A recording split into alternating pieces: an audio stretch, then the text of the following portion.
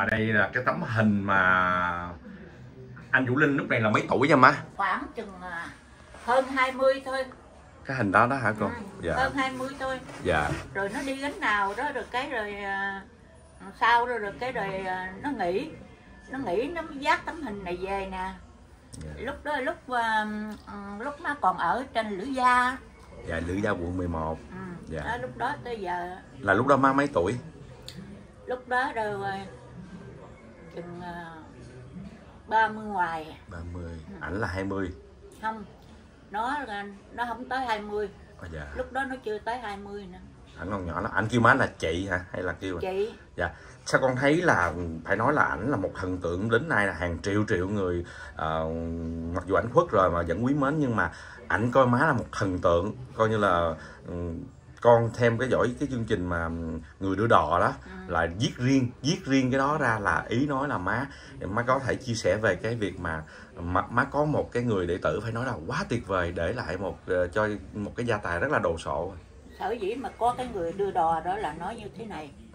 Nó lúc mà một đời gạo chợ nước sông á của của má hiền á thì là má dòm thấy má biết, nó thích cái vai lê minh dữ lắm, cái vai của hoài thanh đóng đó, nó thích lắm. Nhưng mà má nói với thanh hiệp, đừng đừng, thanh hiệp nó nói, thanh hiệp, cái này là phải để cho anh anh à, anh linh ảnh đóng à, lê minh nha cô. Nó nói, không, đừng không cho nó đóng. Cái nó mới nói, coi chừng à còn không cho anh đóng lê minh, ảnh giận à. Nó mới nói, nó giận thì kệ nó, để mời coi kia mốt nọ, nó lớn thêm chút nữa nó sẽ biết tự vì á người ta đã thần tượng cái vai đó của hoài thanh rồi. Dạ. Thấy không? Mà thằng linh nó đang là ông hoàng của cải lương ông hoàng của hồ quảng. Nó được cái danh hiệu đó. Mà tự nhiên giờ đi đi đóng cái vai đó. Nó nó vũ trời bây giờ vô đóng vai đó người ta cũng đem ra ta so sánh với hoài thanh nữa. Có công nhận không? Dạ con công nhận. Dạ. thành ra thôi đừng có để cho nó đóng cái vai đó rồi cái má mới nói hoàng xong việc thôi giờ con viết cái gì khác đi đắp vô. Nó mới viết cái người đưa đò. Dạ. Viết cái người đưa đò nhưng mà nó viết giọng cổ rồi thôi. Rồi còn cái mà thoại với nhau đó nó nói thôi khúc đó hai người tự thoại đi. Ờ dạ. con không viết nữa con mỏi mệt mà con không viết nữa. Giờ hai người muốn nói gì đó nói đi. Thì thật ra là cái thoại của má với lại à, vũ linh là cái thật cái nói không không không có trong tuồng dạ hai chị em nói ra vậy à. ừ. mà những lời nói ra đó là xuất phát từ những cái có thật của cuộc đời mà đó đúng dạ. cho nên thằng linh nó nói đó là nó nói thật đó dạ ừ. có lắm lúc á nó đánh bài đó mà bà già hồi mà anh thứ hai nó còn sống kìa ừ. bà già kêu anh thứ hai nó lên trên má nói mày kêu hiền vô đây tao. Cái à, nó lên nói má kêu chị vô kìa hỏi em có biết chuyện gì không? Nói chuyện quỷ linh nó đi đánh bài đó. Rồi má nói nó không được nó đánh bài nó bỏ ăn bỏ ngủ gì đó. Rồi má giận kìa. Chị lên nói nó nó mày chở tao lên. Dạ. Chở lên thì đâu có nó ở nhà đi đi ngồi sòng rồi. Đánh bài tứ sắc đó mà. Dạ. Đánh cho vui, vui vậy đó. dạ. Đánh tứ sắc chứ đàn ông mà đánh tao phải đánh bài lớn kia chứ ai Đúng đánh rồi. bài tứ sắc mà dạ kiểu đánh ghiền đánh chơi vậy á. Ừ. Thế má thấy đánh nó má nói má sắp chiếc chiếu của người ta mới là má trải sau lưng nó má nằm đó. Nằm dạ với nó vậy thế nó nói trời ơi trời làm gì trời? Tôi nói thì mày đánh đi tao chờ tao nằm đây tao chờ mày. Cái xong cái nó bỏ xuống đứng lên cái mấy người đó hỏi làm sao đó đánh mà bả nằm bả trù bả ẻo như vậy đánh gì? Thôi về. Cái nó nắm à, nắm má hiền ra nó chở đi về. Dạ. Mà với lại má năm á cũng nói thôi bây giờ tự nhiên nó nó phải nói là cái cái cái nó ở ngoài nó hơi lì. Dạ. Ra bà già nói không được bà già nó thôi coi như má gửi nó cho con. Mày trị nó giùm tao có hiền. Đã nói gì đó. Dạ mà hồi xưa là cái cơ duyên nào mà anh Linh được làm à, đệ tử của má vậy má? Nó nó đã có đi hát rồi. Đó. Rồi lúc đó cái à, má, má mới hát cho đoàn quan đào kim trưởng á. Dạ. Ừ. cái nó cũng đi đoàn đó. Nó, nó vô nó đi. Thì bà già đi bên đó nữa. Cái rồi à, xong cái bà già về mỗi lần bà về là bà gửi nó cho má hiền. Dạ. Nói con má về nha gửi linh cho con nha. Nói dạ. Cái hãy bà về là bà gửi. Xong sau đó bà nói tao gửi cho nó quen quen vậy rồi tao gửi mày luôn đó. Mày trị nó giùm tao hiền. Đó. Lúc đó là ảnh mấy tuổi má? Lúc đó nó nó khoảng chừng à, 15 16 dạ ngoan không má? Hả ảnh ngoan không má? À, Ngoan. Nói là nghệ sĩ mà Vũ Linh không có biết chửi thề.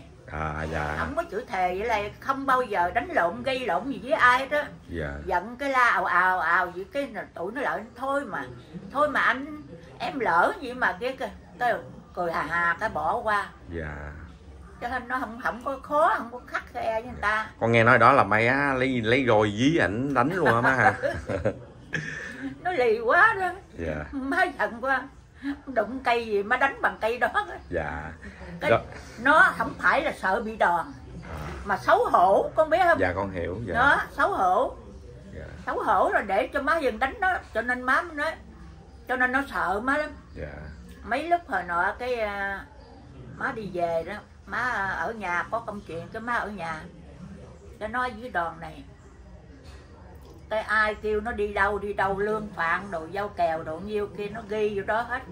Nó đợi má hiền về cái nó đưa nè đặng cho má coi cái má coi má cho nó đi đòn nào thì nó đi đòn đó. Ồ. chứ nó không có dám tự tự ý đi.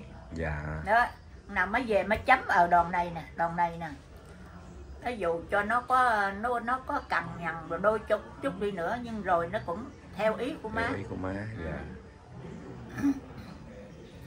ảnh là bắt đầu là khẳng định được cái tên Vũ Linh mà tới ngày hôm nay khi mà ảnh đã khuất cũng gần 100 ngày rồi là cái khẳng định được cái tên tuổi trên bầu trời nghệ thuật cải lương là từ thời điểm nào má có nhớ không má? từ lúc mà coi lúc mà nó à,